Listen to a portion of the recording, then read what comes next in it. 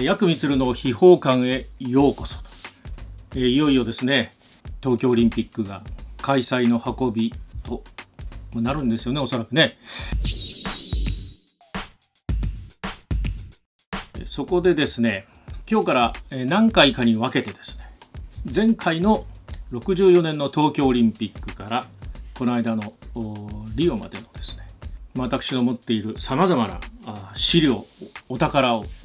出しながらですね振り返ってまいろうと。そういう企画でございます。まずですね始めるにあたりまして成果の点灯であります。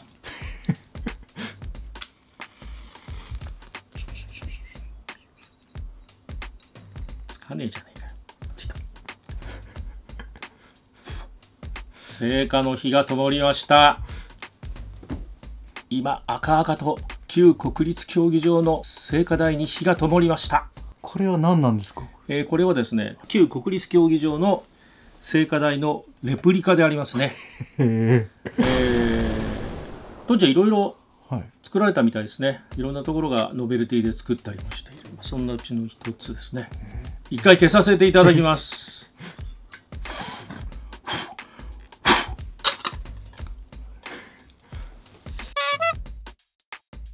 その、まあ、成果をあしらったのがこの毎日グラフでございますね。えー、これですね。これね、今つけたのと同じでございますね。当時私は幼稚園の年長組でしたので、えー、本当にあの断片的に記憶が残っているぐらいなんですね。印象に残っておりますのは重量上げのソビエトのジャボチンスキー。本当にジャボチンスキーっていう体格の熊みたいな選手が間違いそういうのはやっぱり幼稚園児にもすげえと思うわけですね、うん、そしてマラソンははっきり記憶しております。優勝したのはこの、えー、アベベビキラエチオピアですね。これは東京オリンピックの時の写真ではありません。東京オリンピックより3年ぐらい前に出た陸上競技の雑誌なんですけども、はい、このアベベがね甲州街道もう早々に独走体制に入りましてね優勝いたしましたオリンピック関係の雑誌というのはですね、まあ、こういったその総括の雑誌が出ますね、はい、なかなかこう有名選手が出てこないんですね。いっぱい選手いますから、結果こういう、まあ、成果であるとかあるいは朝日グラフもそしてグラフ紙を持たない読売新聞社もですね大体こういう集団集合の写真であったり割にこう凡庸なものになりがちだというのが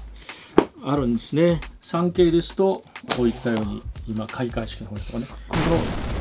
のなかなかその表紙にピンの選手が来にくいという、はい、これはオリンピック見せする大会では共通してましてね。例えばシドニーだったら Q ちゃん。どの雑誌も Q ちゃんと。案外のメダリストは表紙になりにくいというのがあります。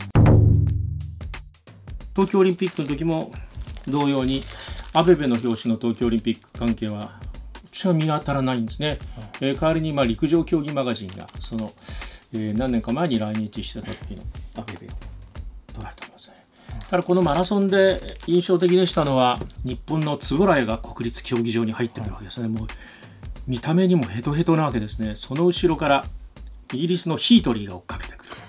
球場に入ってから逆転されて、えー、ヒートリー銀円谷銅となるわけですけれども、えー、その円谷を描いたのがこの週刊誌でしたね。歓喜のゴールインではないですね。しかもそのゴールした後にもう生も根も突き果てたという写真をこう使っているというのがこれが印象的でございます。そして東京オリンピックでもう一人これは私もはっきり覚えてるんでございますがやっぱりこの三宅義信。日本の三宅でございますね。重量挙げのね三宅義信、えー、次のメキシコ大会では弟の義行さんとともにね、えー、金と銅を、まあ、獲得する。この東京大会では金メダルと。これはもう子供としましても日本の三宅ってこうね、えー、重量挙げの真似をよくいたしました、まあ、今一番ここにサインをいただきたいのは三宅さんですね。ぜひお会いをしたいですね。なんとかこの三宅義信にサインが欲しな。これで面白いのはですね、東洋の魔女、女子バレーボールですね、このセンターに映ってます鬼の大松監督の超スパルタ指導でも金メダルをつかむわけですけれどこの中の文章を読んでみますと、まあ、みんな社会人なので練習はま15時ぐらいからと書いてありますがなんと26時までって書いてあるんですよ連日ね。今そんなこと言ったらもうぶったたかれますねこれは面白いのがですね大松監督がチームのみんなをどのようなあだ名で呼んでいたかという記述があるんですがまずキャプテンの葛西さんですね、でまあご覧の通り面長な方なんですけどもあだ名は当然のごとくですね馬ですね。おい馬。だってまだ娘さんですよ。30ちょいぐらいですかこの時ね。女性に馬はないだろうと思いますけれども、えー、半田由里子選手顔がふっくらとしてるところからフグってあだ名されてた人もいましたね。ところがですね全くここですらこの地上波でもないここですら読めないようなあもう今本当に読めないっていうのもあります。それを省きます。読めるギリギリのものこの谷田選手。色が非常に白いためついたあだ名がですねパイパンとも呼ばれるって書いてありましたね 娘さん捕まえてねあだ名がパイパンはダメだと思いますね。でまたこの「サンデー毎日」の記者が余計なことを書いてありましてただしあるべきところにないという意味ではないと そういったパイパンという意味ではなくてあくまでも色が白いから麻雀パイのパイパンというふうにあだ名がついているとおおらかな時代でございますね。えー、馬にフグにパイパンというようなあだ名がついていたということまで書かれていると。東京オリンピック3位はねえのかということになると思います。はい。やや苦し紛れでありますが、えー、東京大会サッカーベスト8、えー、進んだのは川淵三郎さんですね。えー、今度のオリンピックではオリンピック村の村長さんをおやりになるということでね、えー、川淵さん。もちろんこれオリンピックの時のものではないですけどね、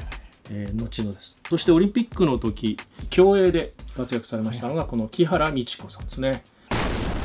オリンピックアスリートからのタレント転身の第1号ではないですかね、木原さんがね。水泳の指導をなさりつつ、タレントさんとしても精力的に活動された方でございましたね、木原さんはね。サインにこう、よというね、まあ、小物といたしましてね、各種貯金箱もご用意いたしました。野良黒さん、これは日本信託銀行。えー、金メダルを1位の表彰台の1位のところに上がってますんでね、はい、そしてこれは富士銀行。今のみずほのはるか前身ですね、はい、富士銀行、ね、はい、これは好きなんですね。東海銀行。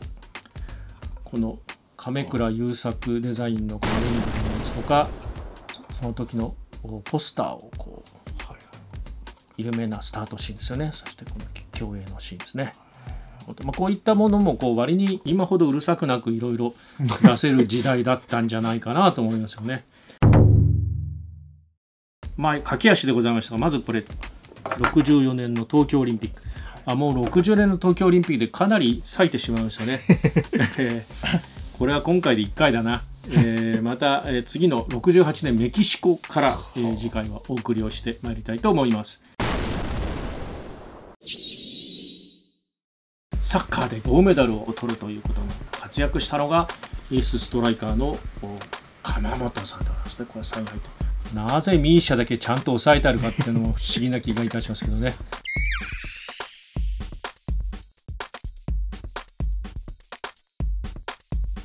えー、薬味鶴の秘宝館今日はもう一回、えーまあ、東京オリンピック開催記念ということで64年の東京大会を当時の資料お宝などをもとに語ってみました、えー、また次回以降も続きますのでね、えー、一つチャンネル登録の方よろしくお願いいたします、はい。